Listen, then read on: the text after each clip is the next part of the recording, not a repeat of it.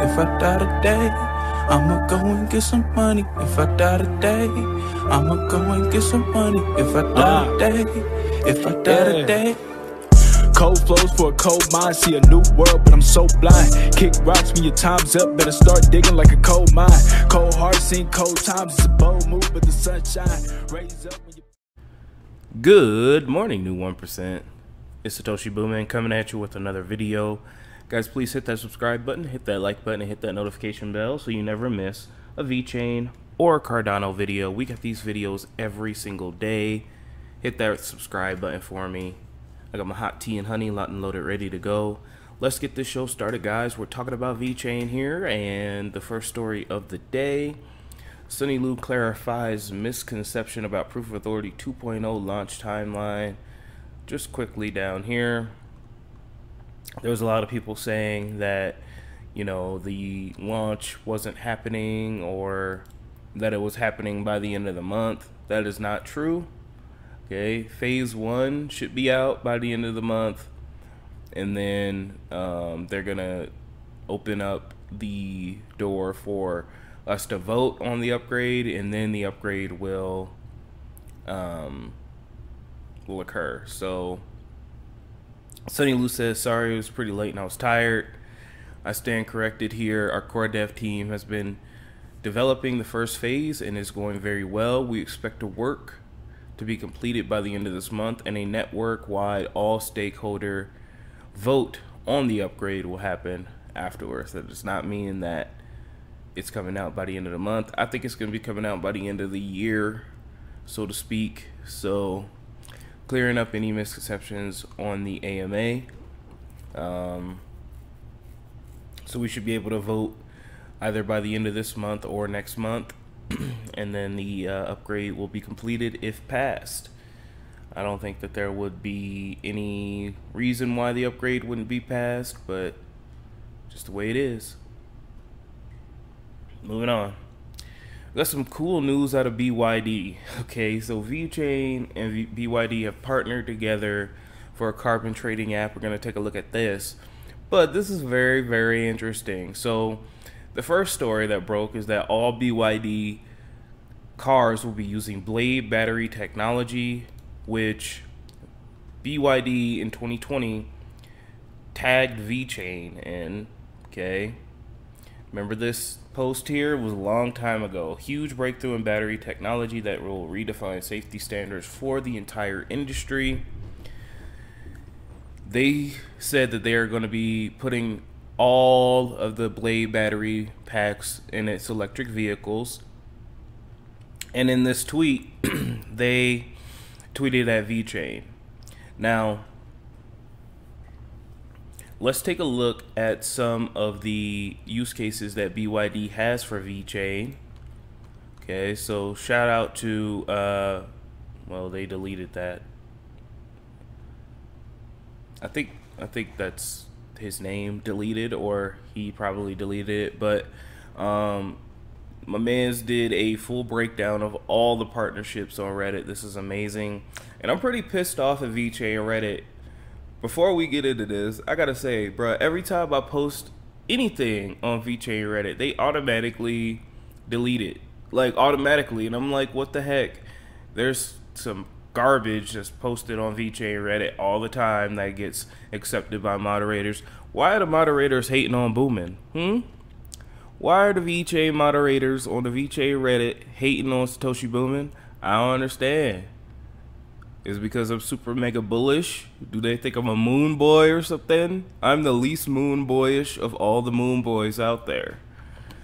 Anyway, I got a bone to pick with the VeChain Reddit, but I'll use it still. I'm a little salty. But so the first uh, thing that BYD tweeted carbon credits, blockchain passes proof of concept, ready for mass production.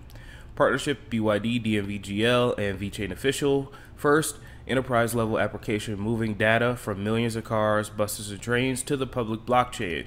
This is what I think is what's going to occur with the partnership. There's no real confirmation of what's happening during the AMA.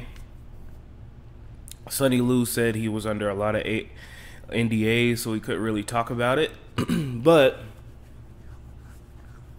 during the Worldwide Developer Conference in 2018, Sunny Lu announced that they are working together with BYD to integrate blockchain power solutions into BYD products. Again, tracking and tracing data, carbon emissions, um, driving habits, things like this. They already have these solutions implemented in cars today. I know you could get like a little sensor put in your car from Progressive that you know if you drive safely and you have a um, dash cam and you have like these certain you don't brake too hard stuff like that you can get discounts on your insurance rate.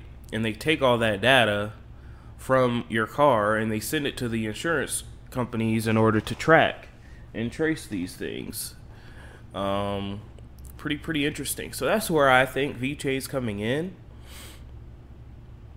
Um, a little bit about byd founded in 1995 pioneer in battery technology. Byd's mission is to change the world by creating a complete clean energy ecosystem that reduces the world's reliance on petroleum. So, also with the push of carbon neutrality in China, BYD could be in position, guys, to be the world's largest car manufacturer of all time. so, then it goes on down to say the carbon banking solution. Remember, we talked about um, people earning credits for driving electric vehicles. They're going to start incentivizing electric vehicle driving, guys.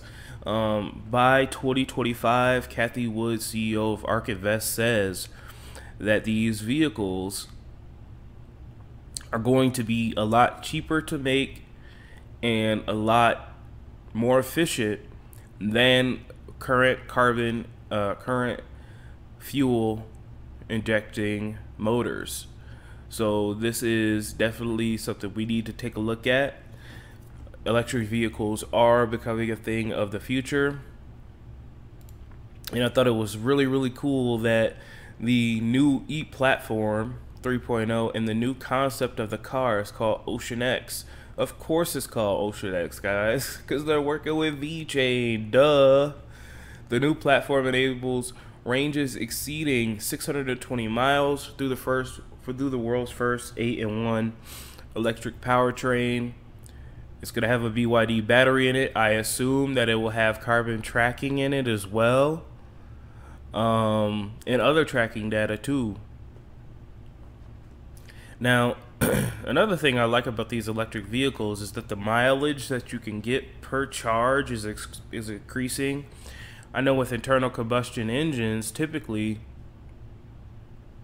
uh, you could only get about 400, maybe 500 miles per tank, depending on how big your tank is. But now, these uh, some of these electric vehicles, some of the higher end ones, could go thousands of miles per charge. That is that's going to be the future right there, guys. So we're breaking it down. Hopefully, we can get a major announcement. Um, Blade battery technology. We got the carbon tracing solution, the carbon banking solution. Got the carbon credit solution with BYD. So there's a lot of good stuff coming down the pipeline. I'll make sure to keep you guys informed. Thank you, to Eisenrich. let's take a look at the BYD, and VeChain Carbon app. I already did a sound check, so we don't gotta do that again. Guys, I'm sorry about the sound the sound issues on my uh, videos. Like randomly, like it'll be fine for like three or four days in a row, and then randomly, all of a sudden, my settings on my capture software will change, and like my microphone will be off the sound on the computer would be completely off and i'm like what the heck and i don't realize it until the end of the video until you guys yell at me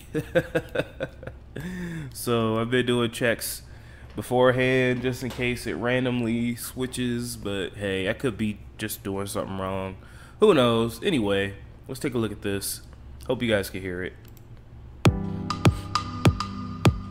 那我们跟比亚迪合作，有一个碳积分的一个应用，获取到这个车联网的行车数据，然后行车的数据里面包含，呃里程、油耗、电耗 啊等数据，然后我们通过这个呃碳专家提供的一个减排公式，然后我们把这个公式啊形成了一个智能合约部署在我们区块链上，然后我们根据这个减排当量核发相应的这个碳积分给这个车主用户。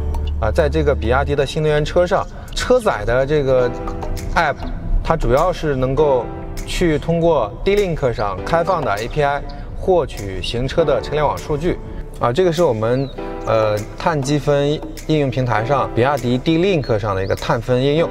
这样的话，我们打开这个碳分应用，会跳出来一个登录界面。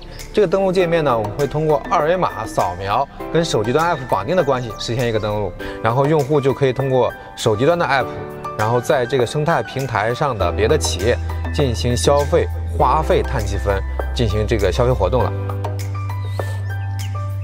So again, it collects the driving data, it collects, you know, the carbon emissions data, and those credits, those emissions that you are not burning, get trans get converted into carbon credits, which you can use to purchase other things. Also, they want to collect your driving data because they're China, so guys, I would highly recommend you guys watch the video on the uh, social credit system in China. Holy crap, that is very oppressive. They need to change that stuff. Um, hopefully, that doesn't get implemented in America. I don't think it will, but yeah, man, there's a lot of crazy stuff going on in China. Anyway, um, the point is, we're moving on. We've got some Jur news here, guys. Their arbitration platform is close to being released. The Jur arbitration platform pushed the limits of what arbitration could do for your business. Join the waitlist now. Check out how our innovative platform compares to standard legal processes and familiar providers. So we can see here the filing fee for the Jur platform is smaller, uh, powered by a digital algorithm comprehensive and streamlined, fast as three months in resolution dispute time, whereas other arbitrators could be six to 18 months. So, if you guys don't know what Jur is, real quick, they are a digital conflict resolution platform. Um, again, using technology and digital technology to resolve conflicts, resolve arbitration, resolve, you know, court pretty much. So, um, you only need one arbitrator. Uh, you could get your stuff done in easily as 120 days, and the procedure is 100% paperless. So, this is coming soon, launching fall 2021. I will let you know when this is released. All right, guys, we got 925 days to the next Bitcoin block halving. Taking a look at the markets here. Things don't look so bad. Yeah, Bitcoin's still down to 46 uh 46k, but I still do think we're to shoot back up, guys. This dip was just too violent to be a natural correction uh, this seems like whale manipulation 101. So I'm expecting us to shoot back up here any minute now. Algo is literally doing the dash. Holy cow, I done told y'all I was buying some algo. Did you pick up some algo on the low when it was like 70 cents? Hmm? Did you do it? Did you? Probably not. It's alright though. Don't FOMO into it now. Tron is up 20%. What the heck is going on with Tron? I wish you could buy Tron on Coinbase, but that's never going to happen. Elrond literally continuing to do the literal dash. Your boy could have been out of wage slavery right now if I would have just hodled. But that's what you get. That's what you get when you try to trade and be cute. I'm telling you guys, just hodl. We're literally stacking VeChain and chilling. That's the quickest, easiest way. Well, not the quickest way to get rich in crypto. The quickest way to get rich in, in crypto is to trade shit coins and shady DeFi. That's the quickest way to get rich, but not the most safest way. you could lose all your money doing that on rug pulls. But the safest way to get rich in crypto is to find a coin that's you know, valuable, that has a good team behind it. They're continuing to develop it. And you just dollar cost average and hold. You just hodl. Okay. Matter of fact, pick you about two, three coins that you care about. And you put twenty dollars a week in or however much you can afford every single week. And you hodl, guys. It's not glamorous. No, I don't have a Bybit link. No, I'm not gonna teach you how to super duper swing trade, flip titty coin and come rocket so that you can, you know, flip that into I don't know, shitcoin plus and get a hundred X gain. I'm not gonna tell you how to do that, but just buy and hodl and you'll be a okay. Alright guys, well that's all I have for you today. Don't let your memes be dreams. I will talk to you tomorrow with the VeChain and Cardano updates. Love you guys. Bye.